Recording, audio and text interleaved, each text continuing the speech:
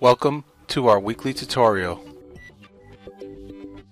In this guide we will show you how to detect SQL database changes. First, let's create an SQL trace. Open Microsoft SQL Management Studio, connect to your database you want to audit, click New Query, copy the following code into the new query box.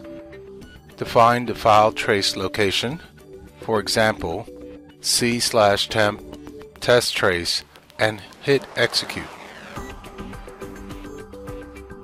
Now let's make some changes to databases.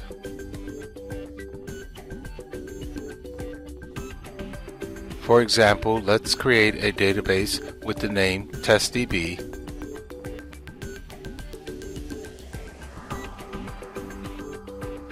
and delete the database IIS data.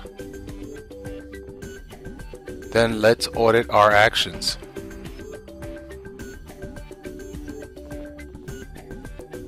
Execute the following query to stop the trace.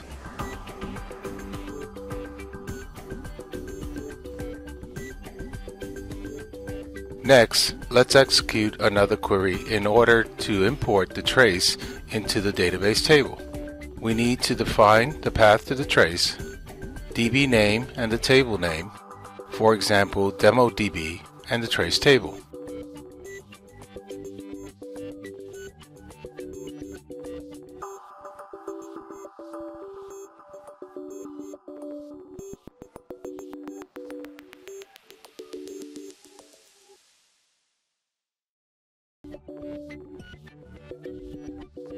And finally, let's execute the last query in order to view the trace data.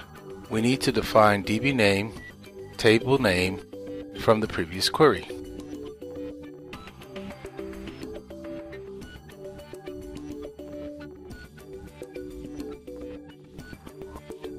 Here we can see that the test DB was created and the IIS data database was deleted by the administrator.